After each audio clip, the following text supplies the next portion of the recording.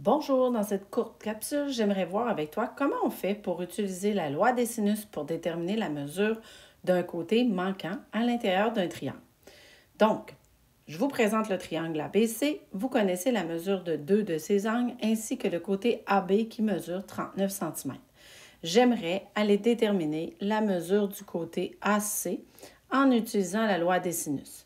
La loi des sinus, qu'est-ce qu'elle me dit? Elle me dit que si je prends la valeur du sinus d'un angle et que je le divise par la mesure de son côté opposé, ce rapport-là est le même pour les trois angles. C'est-à-dire, si je prends le sinus de l'angle B et que je le divise par la mesure du côté qui lui est opposé, je vais obtenir le même rapport.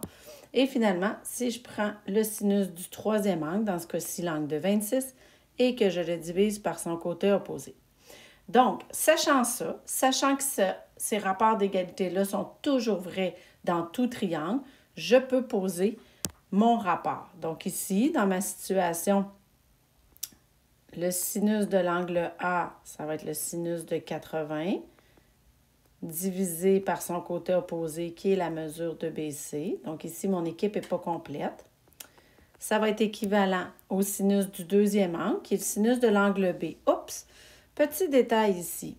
Je n'ai pas la mesure de l'angle B. Par contre, on sait que dans tout triangle, la mesure, la somme des mesures des trois angles est toujours équivalent à 180 degrés. Donc, dans cette situation, on peut déduire la mesure de l'angle manquant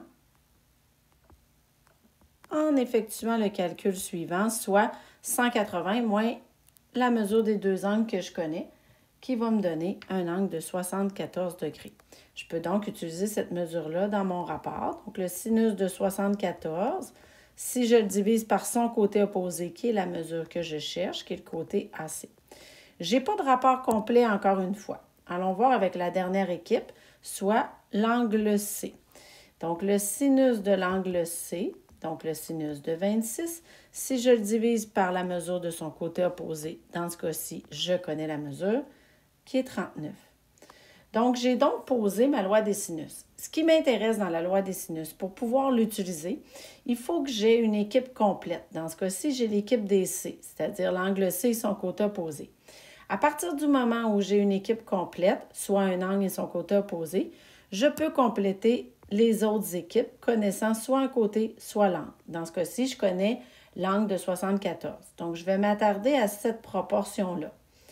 Donc, je vais utiliser le rapport que je connais et le rapport incomplet. On sait que dans toute proportion, le produit des extrêmes est égal au produit des moyens. Je vais donc appliquer cette propriété-là.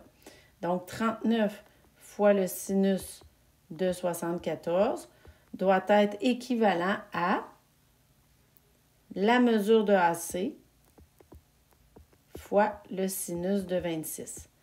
Dans ma situation ici, ce que je cherche, c'est la valeur du sinus, euh, pas la valeur du sinus, mais bien la valeur du côté AC. Donc, pour faire ma résolution, je peux diviser par sin de 26 de chaque côté de façon à isoler la valeur recherchée. Et donc, le calcul approprié pour aller déterminer cette mesure-là à partir de mon rapport de ma loi des sinus. Je vais faire 39 fois le sinus de 74 divisé par 26.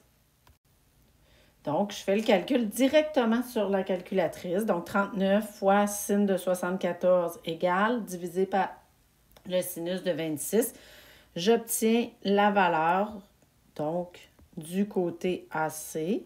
Donc, en faisant le calcul, j'obtiens 85,5193 et des poussières donc, euh, je peux dire que la mesure de AC est de 85,5193 cm.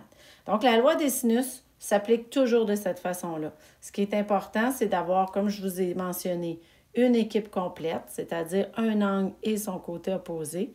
Et par la suite, on a juste à avoir un autre angle pour connaître son côté opposé ou l'inverse, un côté pour aller chercher l'angle. Ce sera le sujet de ma prochaine capsule.